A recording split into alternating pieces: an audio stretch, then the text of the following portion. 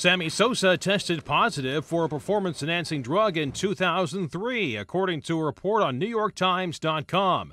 The source for the report is a lawyer familiar with the case, and the report does not name the specific drug used. With 609 career home runs, Sosa is sixth on baseball's all time list.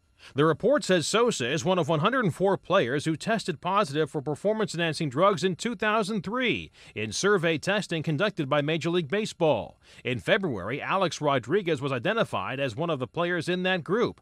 As part of the agreement with the Players Union, the testing in 2003 was conducted to determine if it was necessary to impose mandatory random testing across the major leagues the following year. In March of 05, Sosa testified under oath before Congress that he had never taken illegal performance enhancing drugs.